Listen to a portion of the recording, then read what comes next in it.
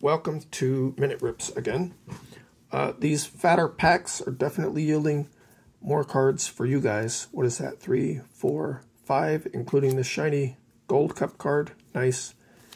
We're about two weeks into the season now. How is Arozarena holding up compared to his postseason performance? We're going to go ahead and put him in the top spot.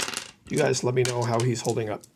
Let's roll two dice. We're going to do that over because I only rolled one because I dropped one.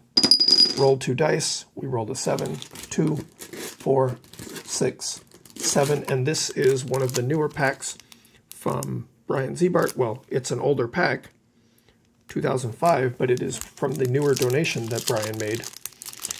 Uh, take a look at the link in the description to see a video for that donation. We have Mike Schmidt. We have Shawon Dunston. Rick Monday. What a name. What a name. He should be a detective. Nolan Ryan. We have John Elway. I thought he was a football player. And we have Ernie Banks. Let me know which one's your favorite. Thank you, Brian Ziebart. This was Topps 2005 all-time favorites baseball cards.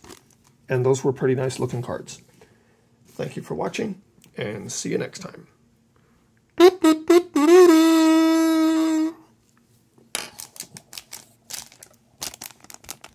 Thank you so much, Brian Ziebart.